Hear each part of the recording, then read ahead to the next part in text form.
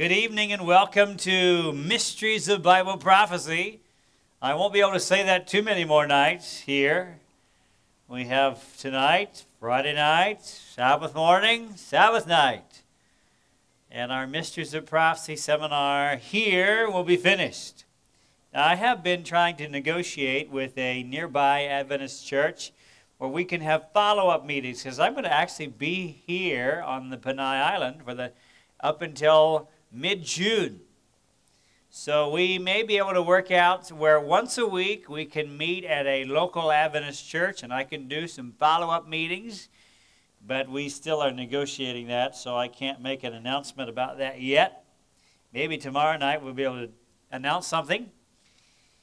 But we welcome you, those of you that have been here faithfully for almost five weeks. How many have been here from the very beginning? May I see your hands? Oh, quite a few of you. And those that are listening on HCBN Radio 101.9 FM, we welcome you. We're going to start here in our site with the quiz from our last meeting. And if you're listening on the radio, you can do the quiz as well. Take out a piece of paper. Those of you that are watching, you can also pull out a piece of paper and do the quiz with us. This is from our last meeting Tuesday night the mystery of financial prosperity. Those here in this site, anybody need a quiz card? If you do, hold your hand up. They'll pass one to you. Yes, there's a number of hands. We have helpers here that will place a quiz card in your hand. Just keep your hand up. Our first question is true or false? The tithe is our money that we give to God as a gift. Is that true or false? Write the answer on line one. The tithe is our money that we give to God as a gift. Number two, what percentage of our income is considered the tithe? What percentage of our income is considered the tithe? You have to write down there a percentage.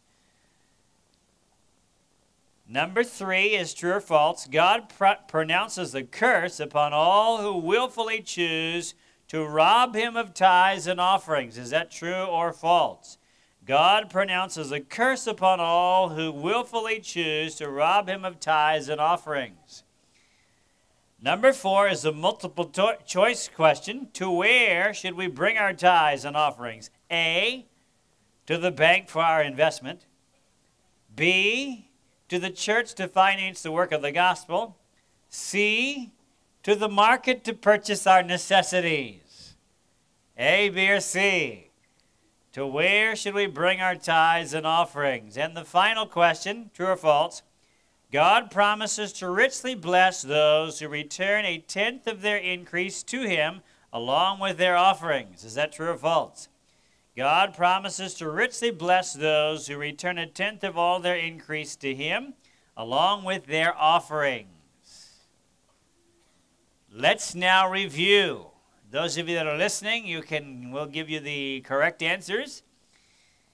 Question one, true or false? The tithe is our money that we give to God as a gift. Is that true or false? That is false. The tithe is whose money?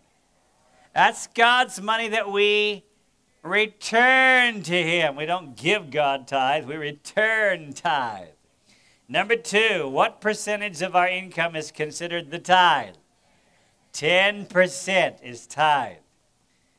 That's what belongs to God. If you want to give God a gift, an offering, then it has to be beyond 10%.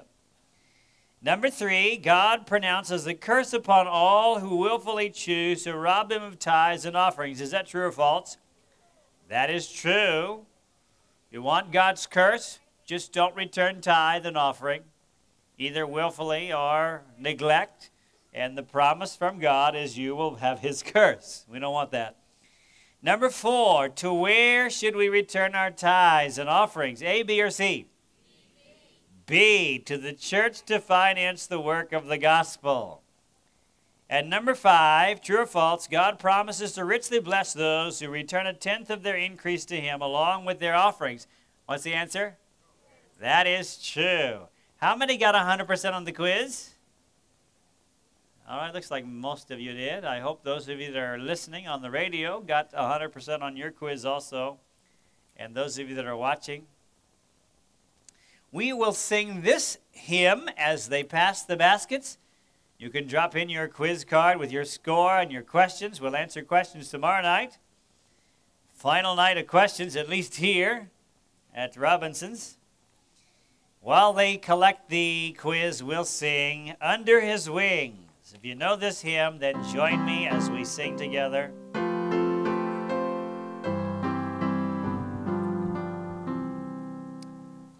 Under his wings I am safely abiding, though the night deepens and tempests are wild. Still I can trust him, I know he will keep me.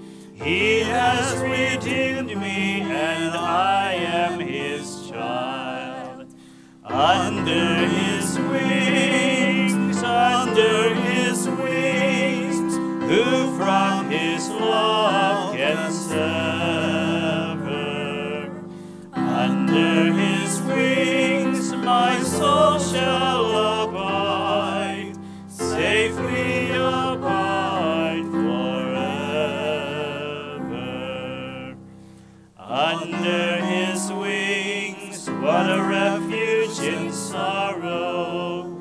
How the heart yearningly turns to its rest.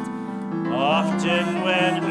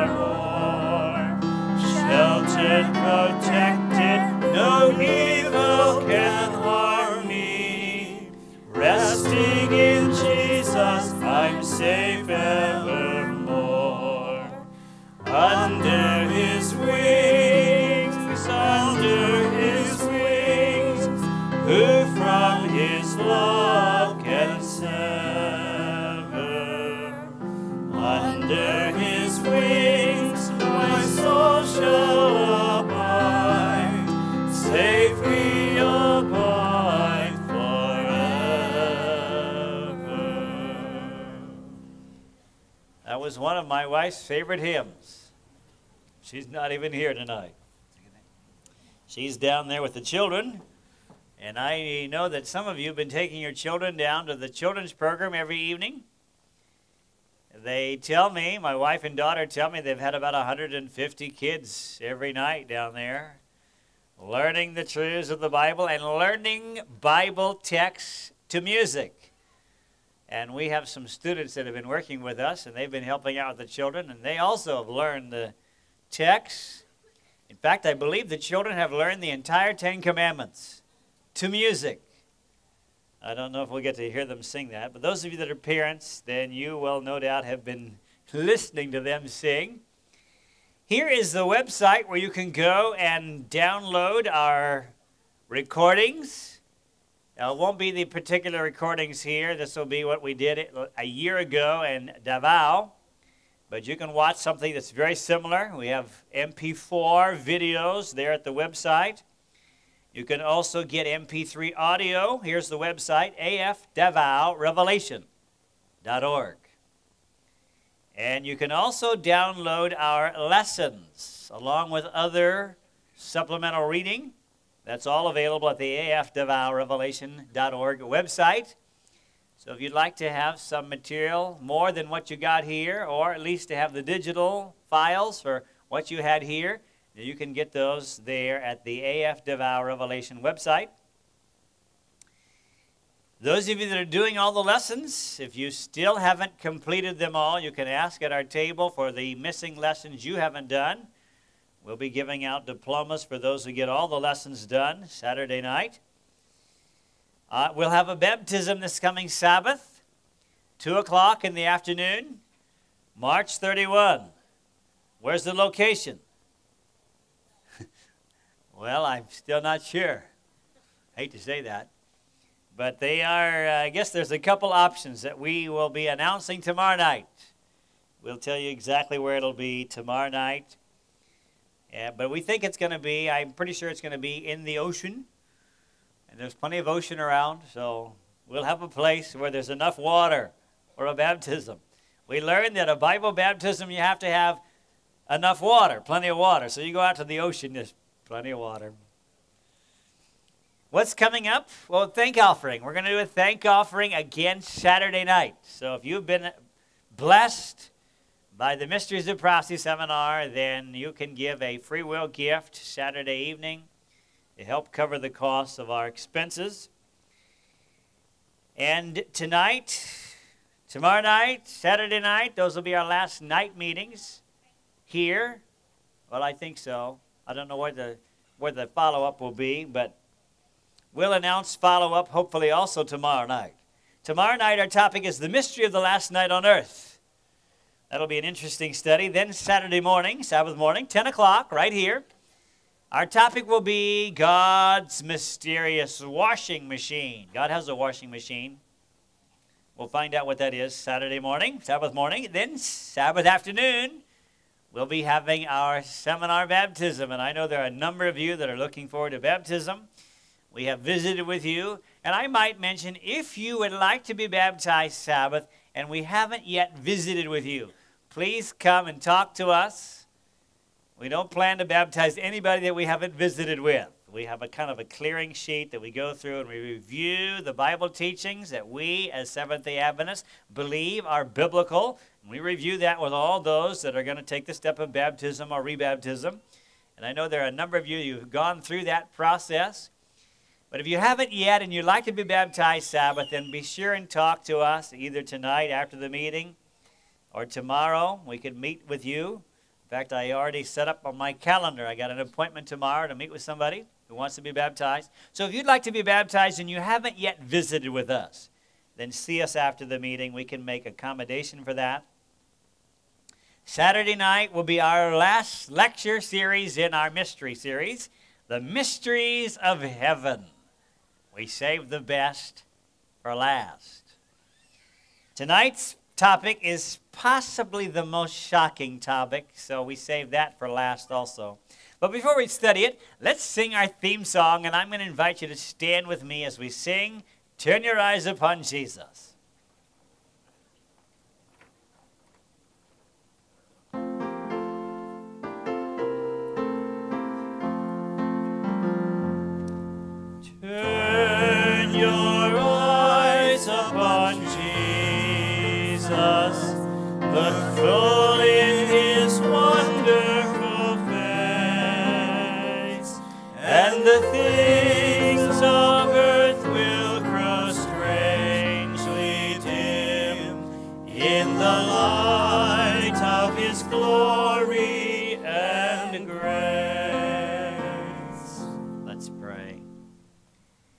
Our dear Heavenly Father, tonight we thank you for the wonderful face of Jesus. And that we can look into that face and forget about the pressures, the problems, the cares of life. We know, dear Lord, that you love us. We believe that demonstrated on Calvary's cross. We know that you have a glorious future in store for each one of your children. Tonight, as we study some of the devil's deceptions at end time, we pray you to make the topic clear, give us willing hearts to accept truth, guide our evening study tonight. We pray in Jesus' name. Amen. Be seated, please.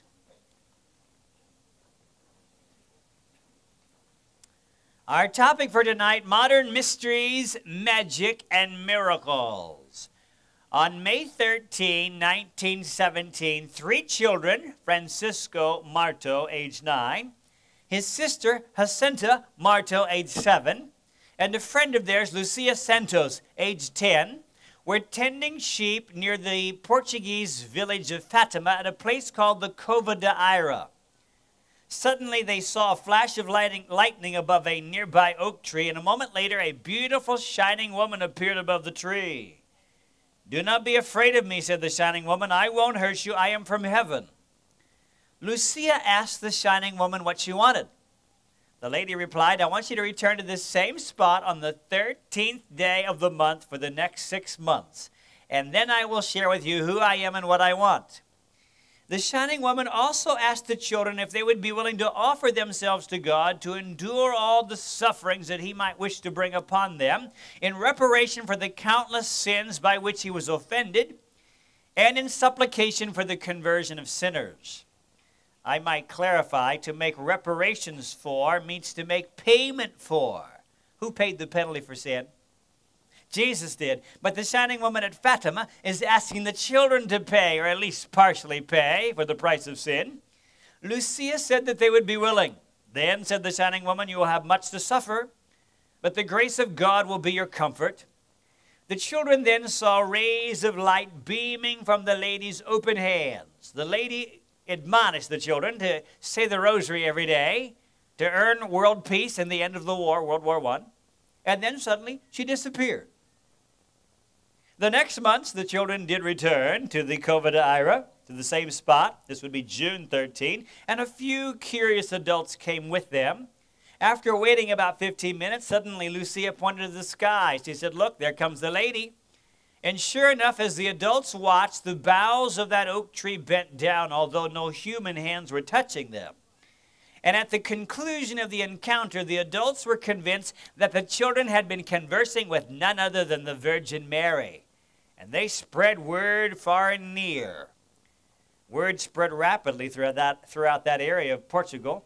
And so the next month, July 13, remember every month, 13th day of the month, July 13, 5,000 people went out to the Cova da Ira, there, to, there near Fatima, to see the shining woman. This time, the shining lady shared a secret with the three children with strict instructions they were not to reveal the secret to anyone. The secret of Fatima. Not a secret anymore. She also promised that on October of that year, October 13, she would work a miracle whereby all might see and believe. Before we look at the miracle that happened at Fatima, Portugal, on October 13, 1917, I'd like to first establish a biblical foundation from which to view the topic of modern miracles, magic, and visions. Let's consider some questions today. Are all visions from God, or can the devil also give visions? Is the devil trying to masquerade himself in some of these things that are happening? Some of these apparitions, some of these miracles? Can the devil work miracles? Oh, yes. How about uh, can he heal people?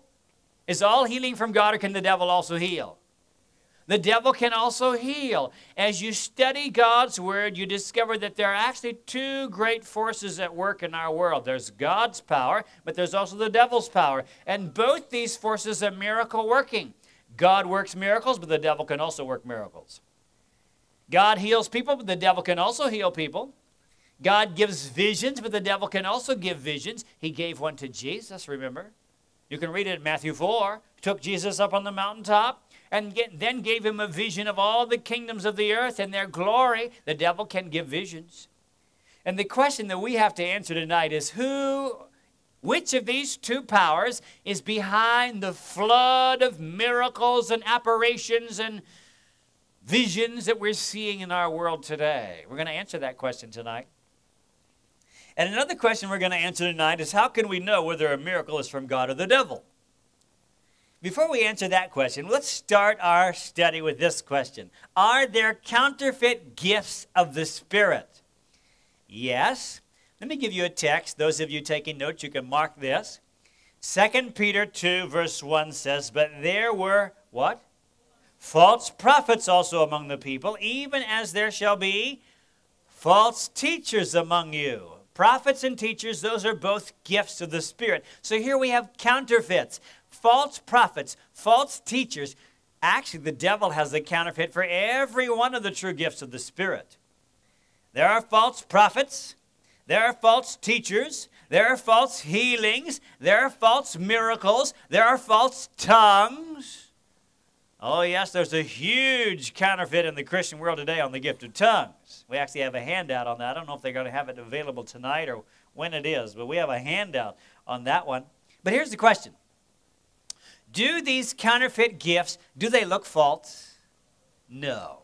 For example, suppose I were to develop a counterfeit 1,000 peso bill. To make my counterfeit effective, I have to make it look like what? like the genuine. And the closer I can make my counterfeit look like the real thousand peso bill, the more effective I can be at deceiving people. Now remember this the devil is a master counterfeiter. He has been practicing for 6,000 years.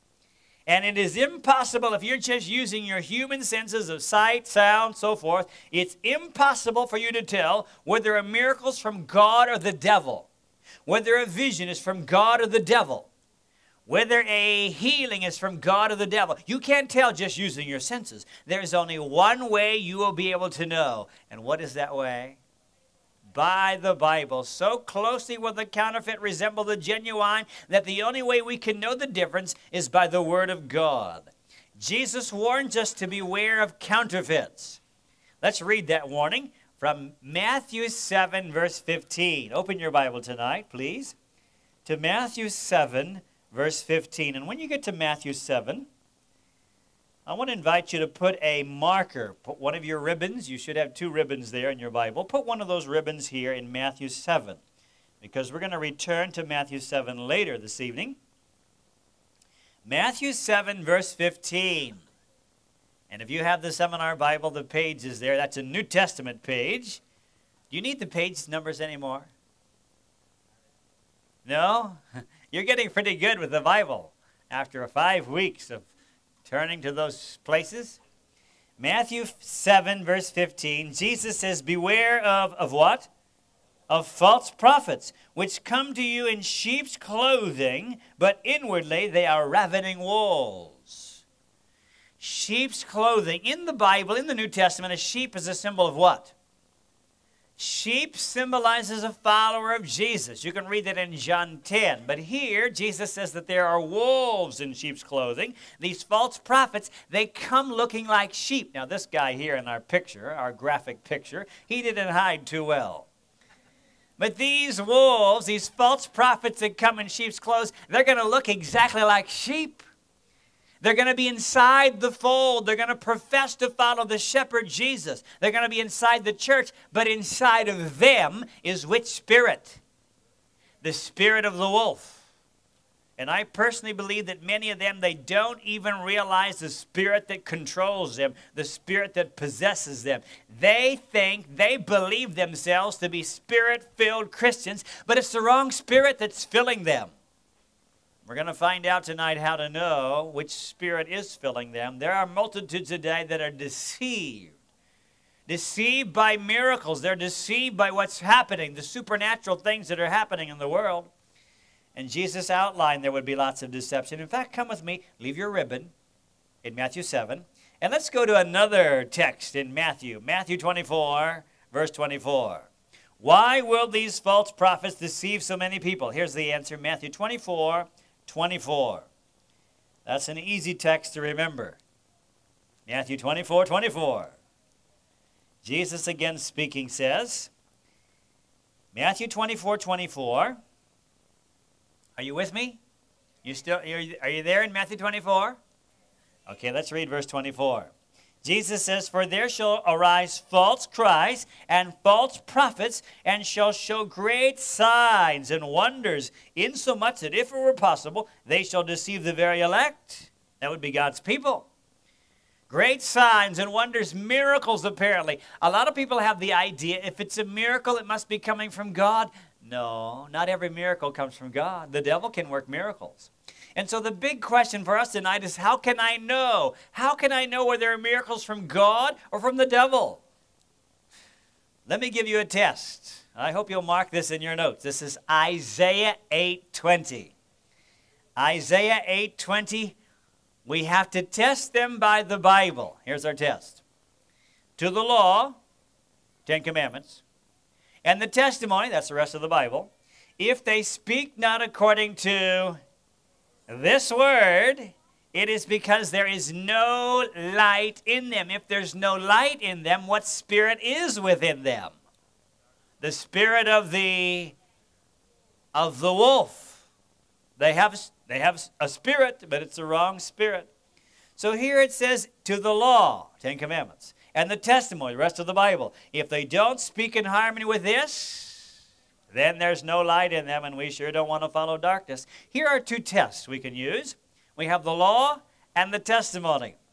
Let's begin with the testimony as our first test. The testimony of God's Word. That's a pretty broad test. There are many truths, many teachings, many precepts that we can find in God's Word that we can test people with. We can test the visionaries, we can test the healers, the faith healers.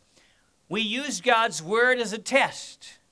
Let me just give you one example of a Bible teaching that we can use as a test from the Word, and that is the Bible teaching of the state of man in death. What do the visionaries, what do the faith healers, what do those who claim to have apparitions from God or from saints, what do they believe about the state of man in death? Do they believe the dead live on? Do they believe that we can communicate with the dead? What does the Bible have to say about the state of man in death? Well, if you've been coming to our seminar, you already know the answer to what the Bible has to say about the state of man and death. Let's do a bit of review this evening. We learned the Bible teaches that, number one, the dead are asleep. Psalms 13, verse 3, Job 14, verse 12, John 11, 11, 1 Corinthians 15, 51, Daniel 12, verse 2. 53 texts at least, the Bible tells us, the dead are asleep. Number two, the Bible teaches the dead are in the grave. Jesus said so, John 5, 28 and 9. Peter said so, Acts 2, 29 and 34. We also learn the Bible teaches the dead know not anything. Where was that text? Ecclesiastes 9, 5 and 6 and 10 and Psalms 146, verse 4. And we also learn the Bible teaches the dead do not return to their homes. Job 7, 9, and 10 and Job 16 22. That's what the Bible teaches. Based on what the Bible teaches about death, let me review this question. How many of the wicked dead are burning in hell or purgatory right now, according to the Bible? The answer is none or zero. Nobody is burning in hell now. We learn from Jesus, Jesus' teaching, Matthew 13, 37 to 50, Jesus says, Hellfire will not burn until the end of the world after the resurrection of damnation. So we could actually add that as the fifth point. The Bible also teaches hellfire is not burning now. In fact, Jesus himself made that clear. Which brings us to the question what about the visions of hell then? Have you heard about the visions of hell? People have had visions of hell. They've actually written books about the visions of hell. We know one thing those people that are getting visions of hell, who's giving them the visions? God or the devil?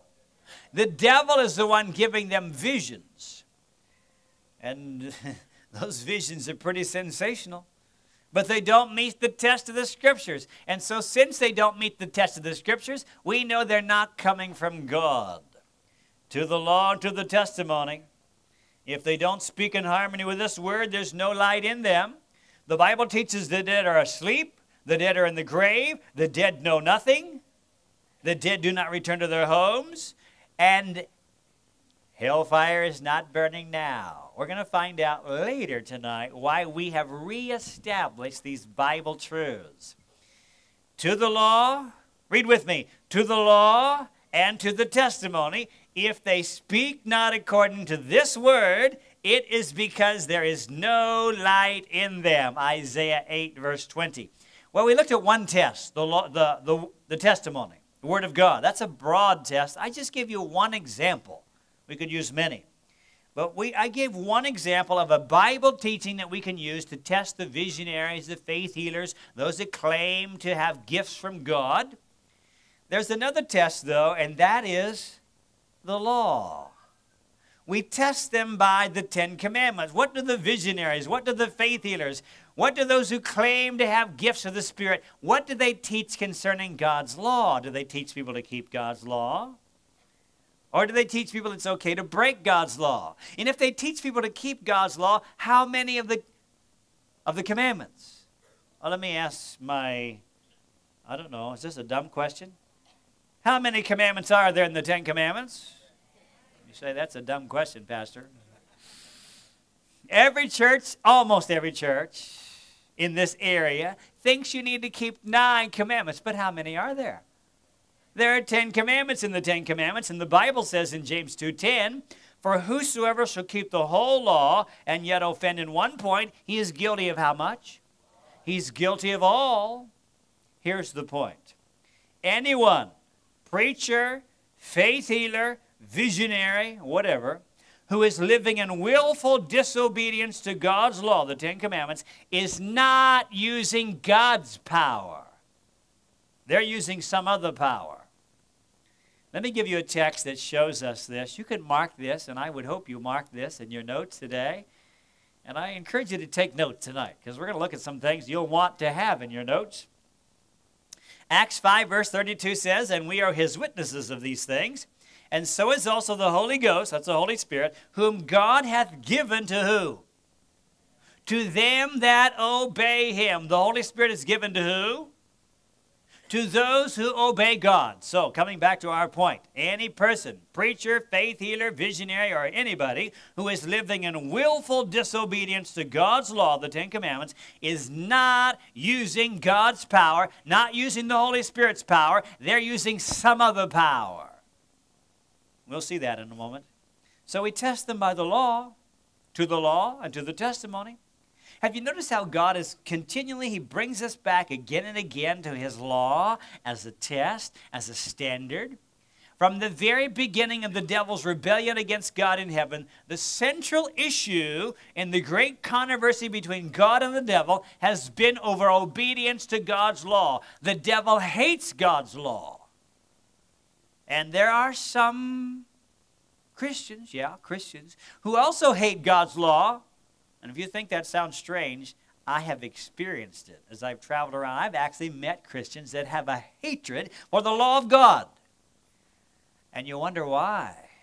Where does that come from? The devil hates God's law, and there are some Christians that hate God, hate God's law too, especially when you talk about the fourth commandment. To the law and to the testimony. There's two tests. If they speak not according to this word, it is because there is no light in them. So, those are the tests you want to use when you want to know whether the miracle's from God or from the devil. To the law, are they keeping the Ten Commandments? To the testimony, the rest of the Bible, if they don't speak in harmony with this, then they're not using God's power. Based on that, let me answer this question or ask you this question Can the devil work miracles? Well, we all know the answer, but let me give you a Bible text to support the answer. Revelation 16, verses 13 and 14.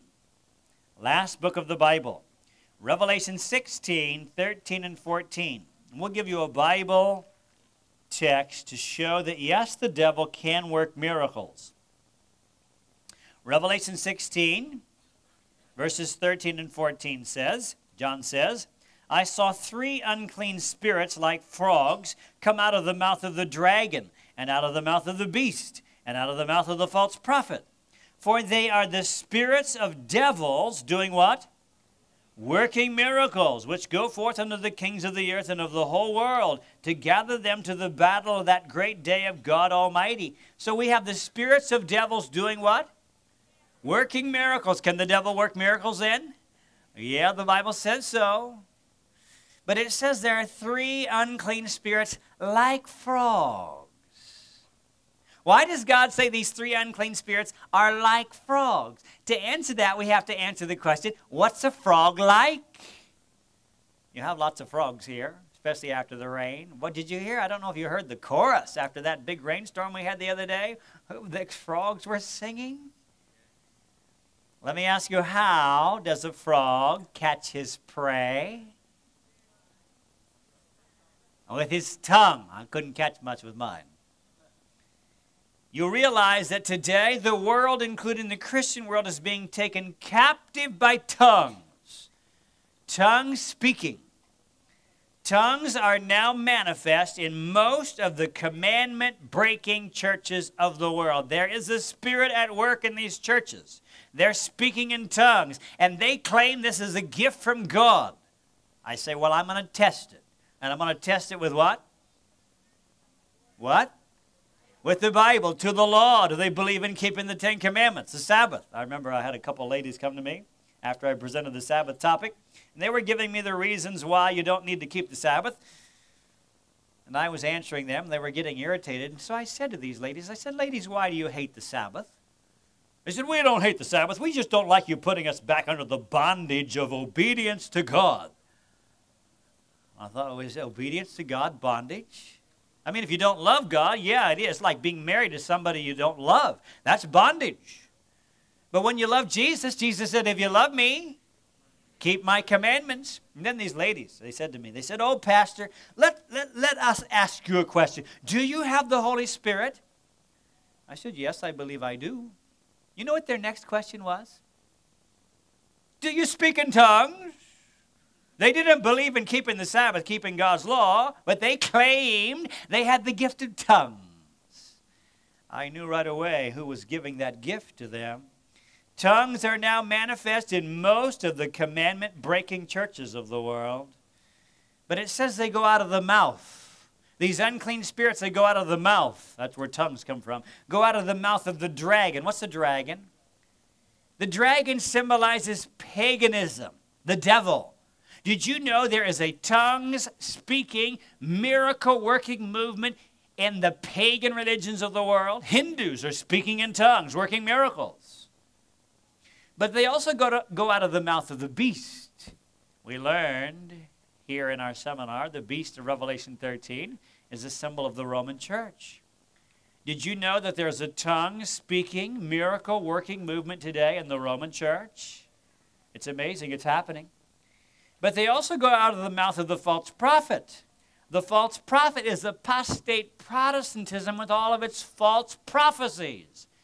There's a tongue speaking, miracle working movement today in the Protestant churches of the world. Something is wrong when you have pagans and Romanists and Protestants all speaking the same tongues, working the same miracles. There is some master spirit that's stirring in all these religions, but it isn't the Holy Spirit that's at work. The Bible says they are the spirits of devils. What are they doing? Working miracles. Are those real miracles? Oh, yes. The devil has supernatural power. He can make people sick. Who made Job sick? Go read Job chapter 2, verse 7. It was the devil that made Job sick. Now, I should clarify. Job is sort of an exception. Generally, God protects his people. But Job was sort of like a demonstration. God allowed the devil to afflict Job. He made Job sick, and it wasn't an imaginary sickness, it was a real sickness. However, a person, if a person is not completely surrendered to God in every area of their life, then the devil may have access to them. He may make them sick. So they go to a faith healer, and the faith healer, you know, he puts his hands on them and they fall over and they get healed. And people say, oh, this is the power of God. I say, well, maybe, but I want to test the belief of the faith healer to see what power he's using. I remember we were doing meetings some years ago, and there was a lady coming to our meetings. She had been healed of breast cancer. She told me the story. It was a, quite a story. She said that she had, she had this big ulcerous cancer on her breast and they had tried all sorts of therapy, the regular therapy, nothing worked. So one day she said she was sitting in her tub at home, soaking in her tub, and she said she just felt like she ought to ask God to heal her. So in prayer, She put her hand on that cancer, that, that large ulcerous cancer on her breast. She put her hand on it, and she said she commanded that cancer to leave her body in the name of Jesus. She said, I felt this tingling sensation in my breast, and she said that cancerous, that ulcerous cancer began to shrink, began to shrivel. It shrank up, it dried up, it got loose like a big scab. And she says, I reached down, I pulled on it. She said it came right off, and it had two roots just like the two fangs of a serpent. She was healed of breast cancer. You couldn't deny the fact. It was a medical fact that she had been healed of breast cancer. That lady was a Pentecostal lady.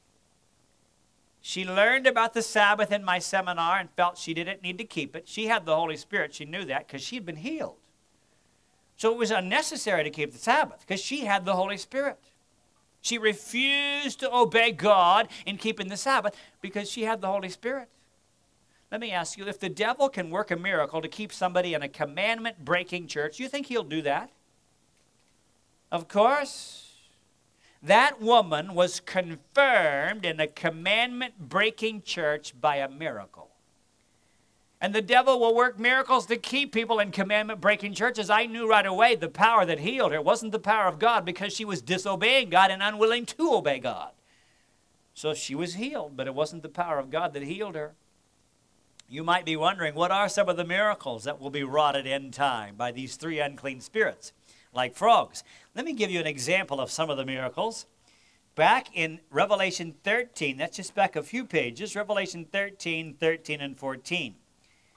We just read from Revelation 16, 13, and 14. Now let's go back to Revelation 13, verses 13 and 14. And here we'll see one of the miracles that will be wrought at end time that will be used to deceive multitudes. Revelation 13, 13 and 14.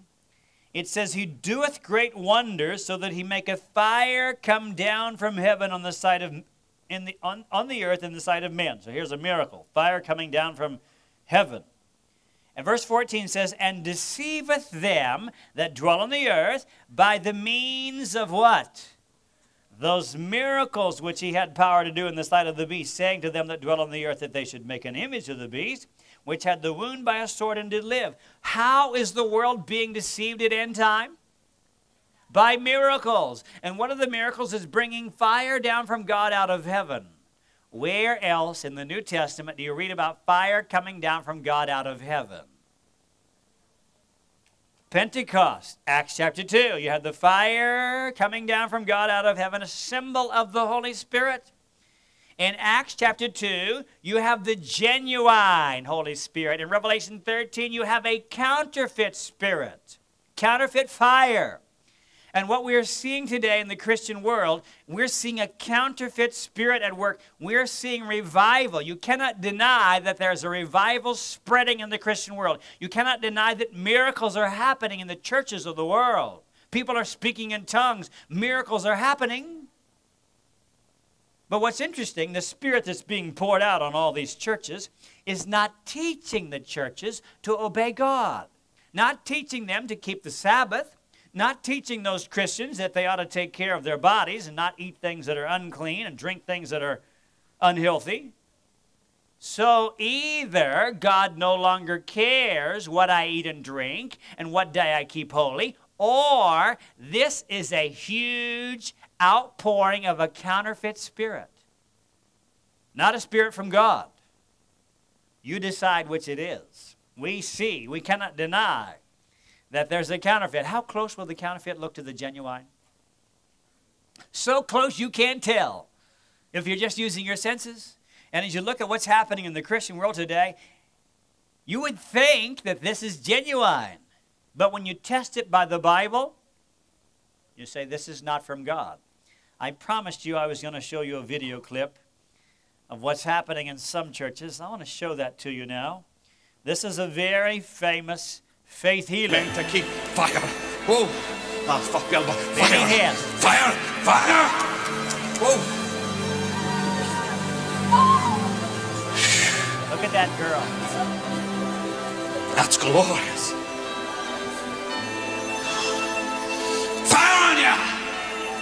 Fire on you, kid.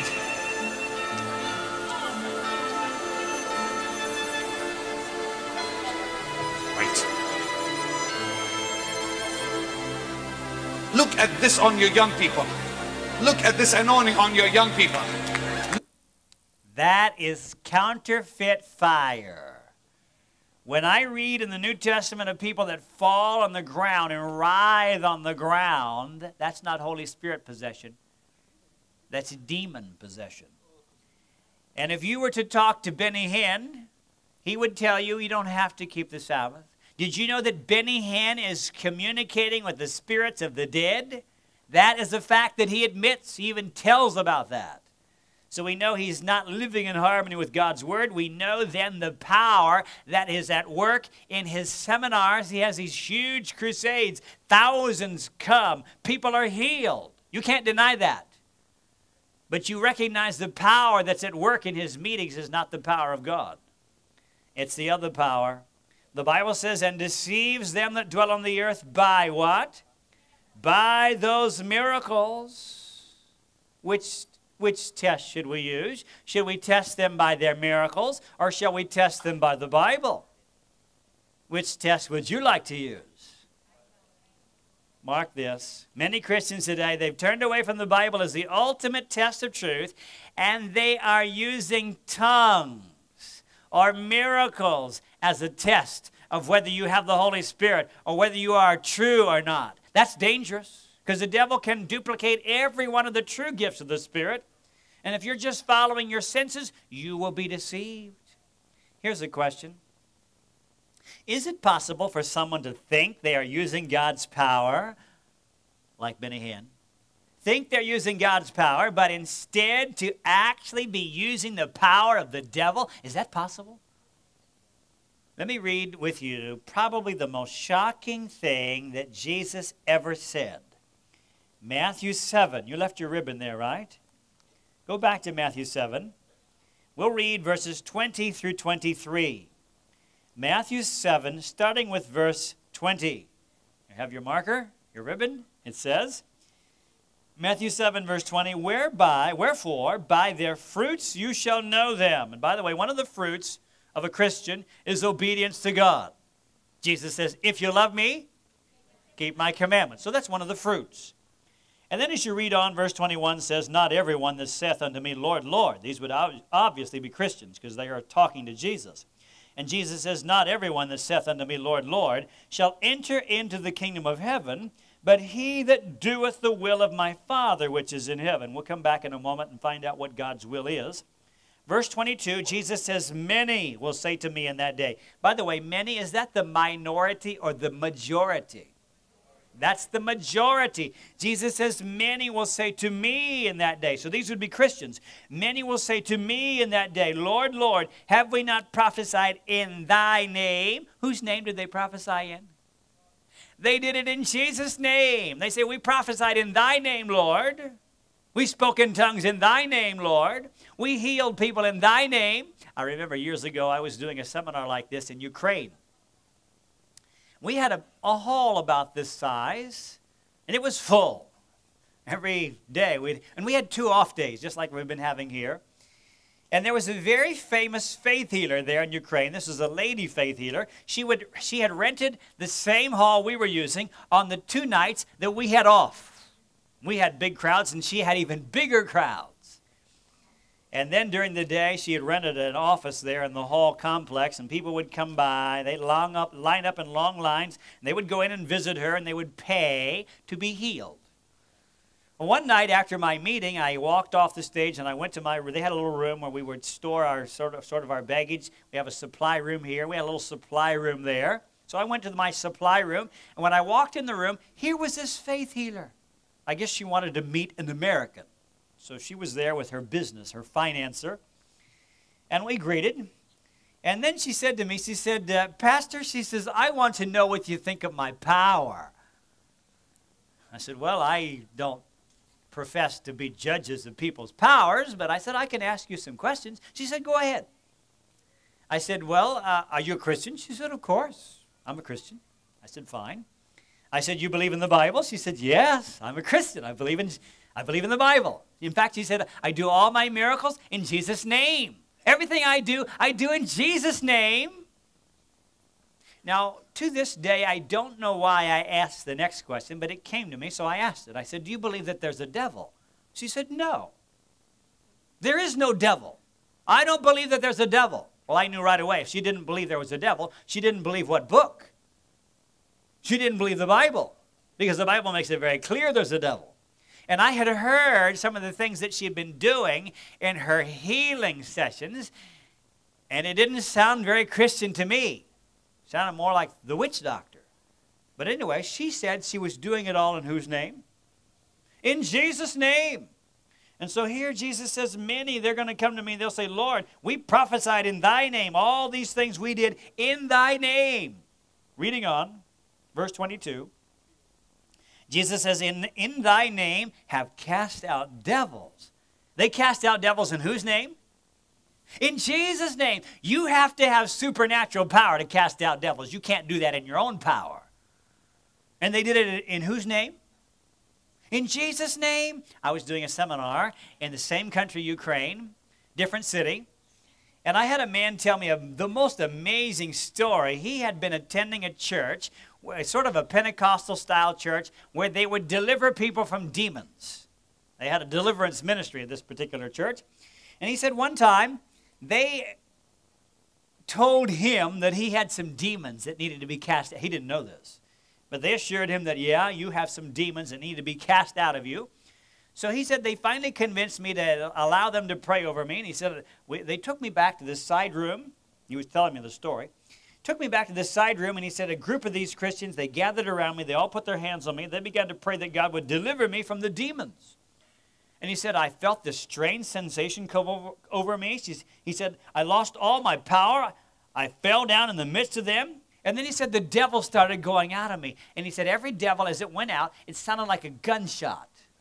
And he said, there were so many demons in me, it sounded like a machine gun going off. All these demons going out. And then he said, a great fire went out of me. I don't know if that was the biggest devil or what. He said, a great fire went out of me. And he says, I was delivered from the devil.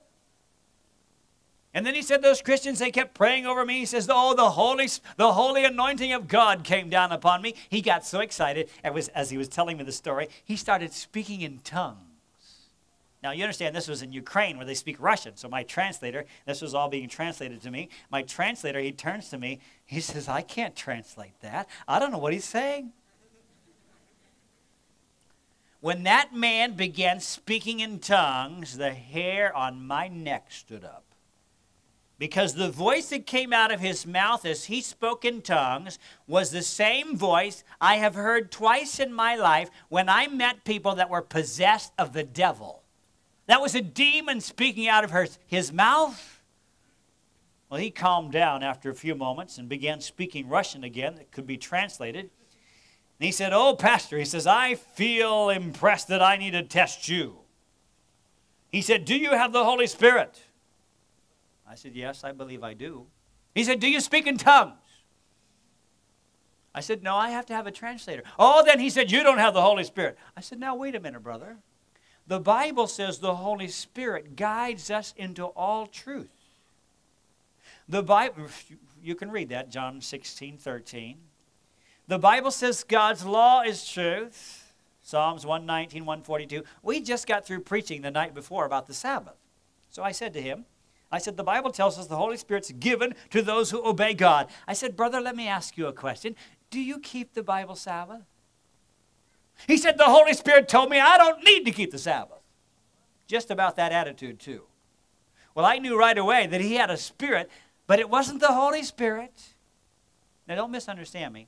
That man had gone to a church. He hadn't gone to a seance. He had gone to a church and thought that he had been delivered from the devil. But instead, he had gone to a church and he had become demon possessed. There's a whole lot that's happening in the Christian world today that's not coming from God. And if the church that's, is disobeying God, breaking God's law willfully, then you know that God's power is not at work in that church. That man thought he had been delivered. Now, I've had people say, well, Pastor, the devil wouldn't cast out the devil. No, he doesn't. That man wasn't delivered of the devil at all. He became possessed. But he thought he'd been delivered. Jesus says, Many will say to me in that day, Lord, Lord, have we not prophesied in thy name, and in thy name have cast out devils? Matthew 7 22. And in thy name have done many wonderful works. Verse 23. Now, this is shocking. And then will I profess unto them, I never knew you. Depart from me, you that work iniquity. If Jesus never knew them, whose power were they using? That's shocking. Jesus says, many. Many using the devil's power. That is scary. And that is why we need to test everything by what? By the Bible. You say, Pastor, how are we going to know? Who really is using the power of God? Well, if you go back to verse 21, Matthew 7 21 says, not everyone that saith unto me, Lord, Lord, shall enter into the kingdom of heaven, but he that doeth the will of my Father which is in heaven. What is God's will? You can read the answer in Psalms 40, verse 8.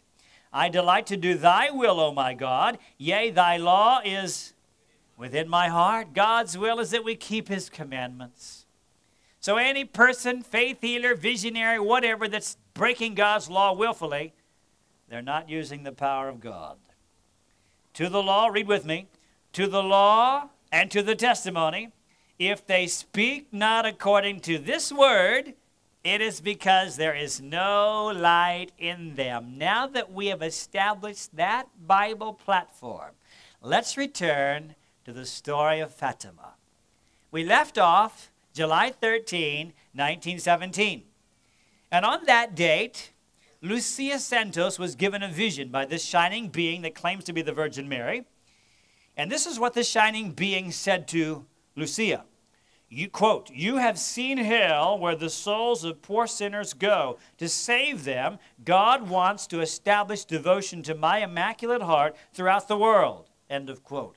Is that statement in harmony with the Bible? Not at all. You can begin to see who is working here.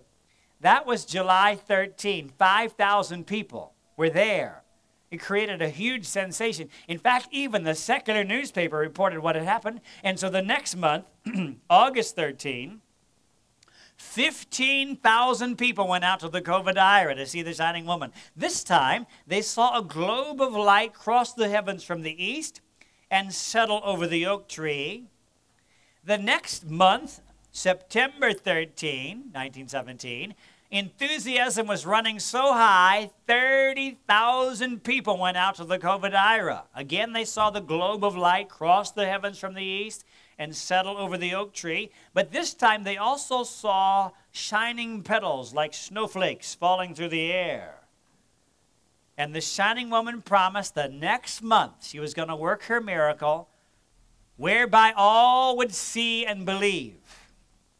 The rain was coming down in torrents on the morning of October 13, 1917, and yet, in spite of the rain, upwards of 75,000 people went out to the Cova da Iria to see the miracle, and they were not disappointed.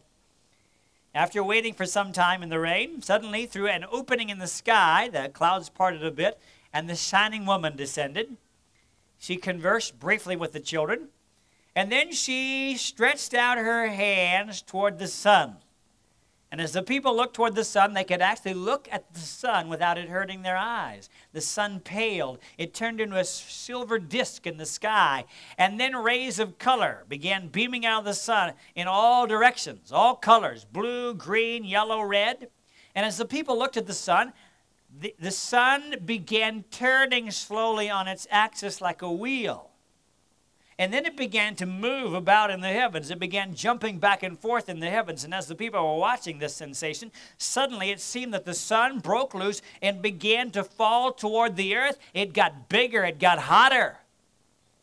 Now, if you think this sounds strange, upwards of 75,000 people saw this. It's a well documented fact. Here's a photograph of part of the crowd there that day, October 13, 1917. Well, as people saw the sun approaching, getting bigger, getting hotter, they thought the sun was going to collide with the earth, and so they began to pray for help, that the Lord would save them. Who do you think they prayed to? Virgin Mary. And apparently, in answer to their prayer, suddenly the, the, the vision or the miracle, whatever it was, ended. The sun went back to its place in the sky, the shining woman disappeared, the clouds went away, and the people noticed that their clothes that had been they had been soaked to the skin because of the rain a few moments before. Their clothes were completely dry. The ground where the water had been standing 10 centimeters deep in some places, the ground was also totally dry, an undeniable miracle. But the question is who did it? Well, to answer that, let's consider some of the doctrines of Fatima and other Marian apparitions. Let me just share with you some of them. Number one, prayer and sacrifices for the dead. Here's a statement, again, from that shining being that claims to be Mary. Quote, pray a great deal and make sacrifices for sinners, for many souls go to hell for not having someone to pray and make sacrifices for them. End of quote. Who made the sacrifice for sin? Jesus did. Was his sacrifice sufficient? Yes, but not according to the shining being that claims to be Mary. Another doctrine of Fatima and other Marian apparitions.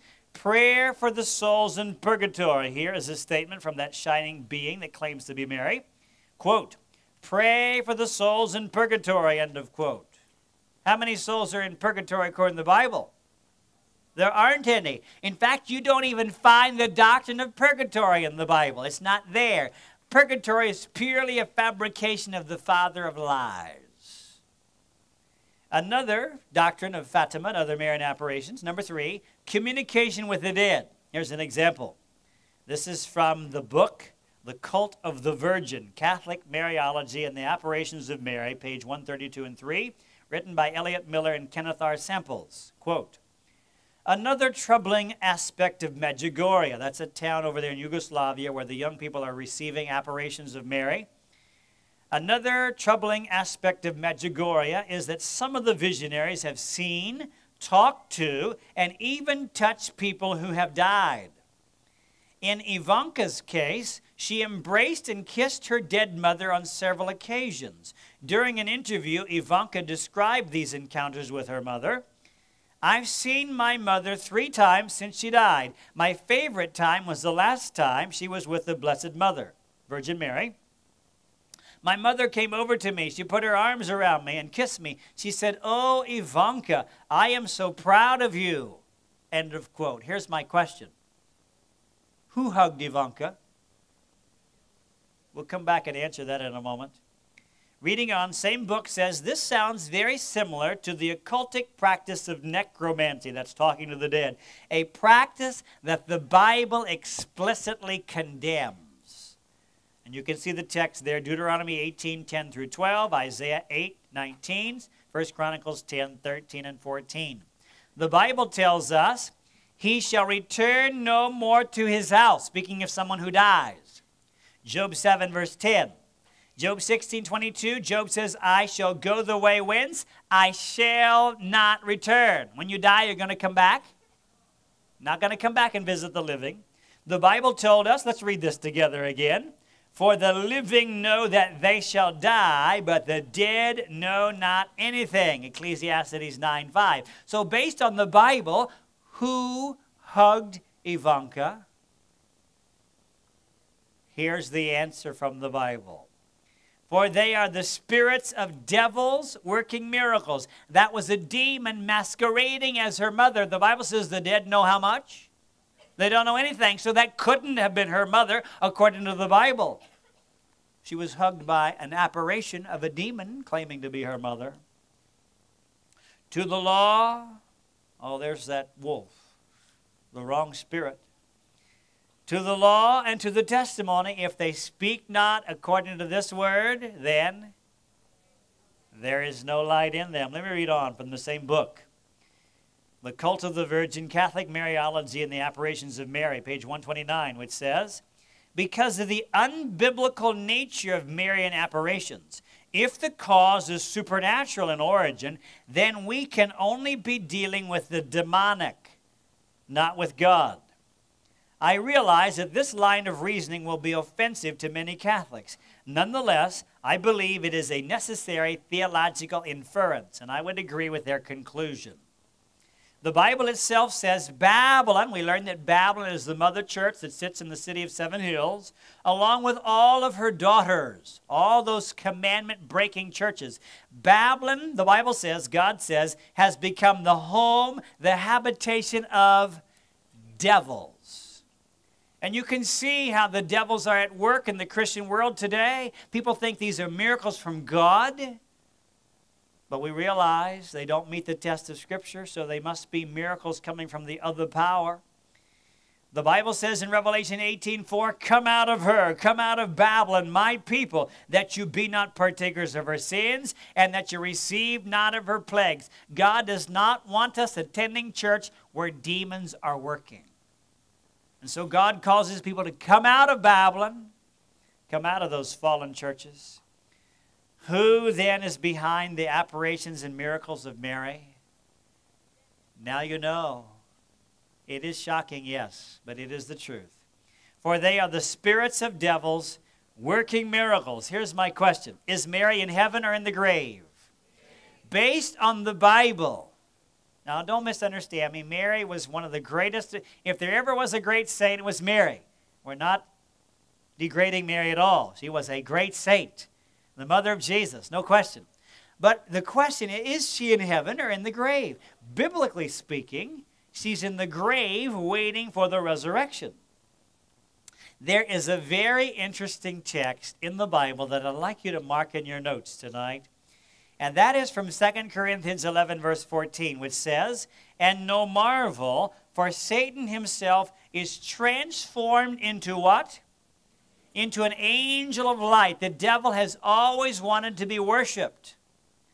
He knows that he'll never get people to worship him if he appears as a, a red monster with a pitchfork and a tail, looking like a goat. You might get a few Satan worshipers to worship that, but you're not going to get the masses of the world to worship that kind of thing. However, if the devil were to appear as a shining woman, a woman revered by most of the world's religions. Roman Catholics, many of them, they revere Mary. Some worship her. The Orthodox Church over in Eastern Europe, they venerate Mary. Many worship her. Protestants now are beginning to venerate Mary. Islam venerates Mary as the mother of the prophet Jesus. Much of the world venerates her. The devil knew if he could get the world thinking that this is Mary. He could get the whole world to worship him. Mark this. The shining woman that's appearing in various parts of the earth today, claiming to be the Virgin Mary, is none other than the angel of light of 2 Corinthians 11 14. That's who it is. And this being has said that if necessary, she will appear in every home to prove to people that she exists and that they should worship her are you ready for that kind of deception?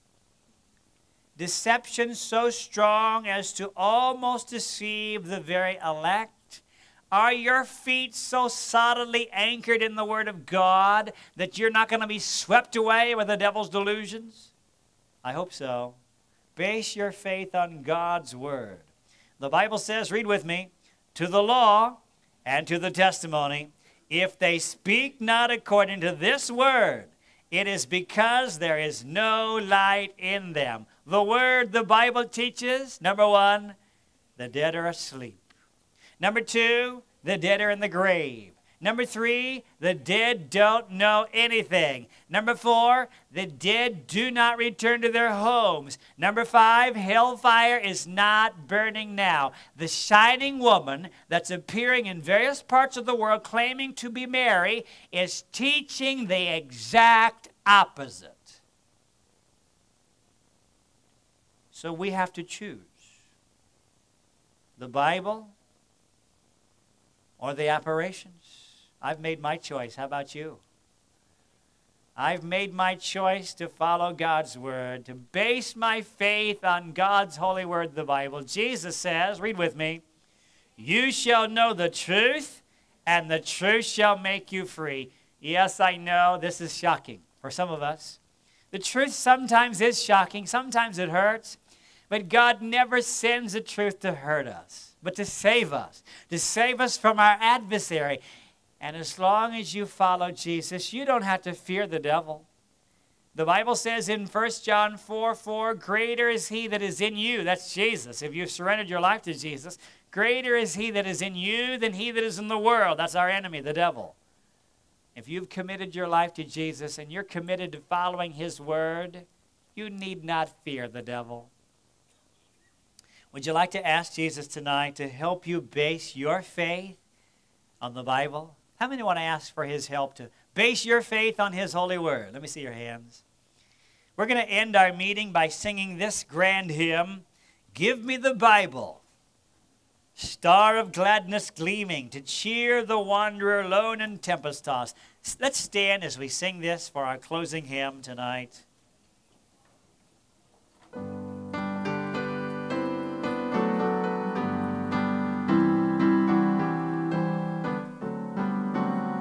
Sing with us. Give me the Bible, star of gladness gleaming, to cheer the wanderer, lord and tempest tossed. No storm can hide that peaceful radiance beaming, since Jesus came to Give me the Bible, holy message shining, thy light shall guide me in the narrow way. Precept and promise, law and law combining, till night shall vanish in eternal day. Give me the Bible. All my steps in light and teach me the danger of this for free. That lamp of safety o'er the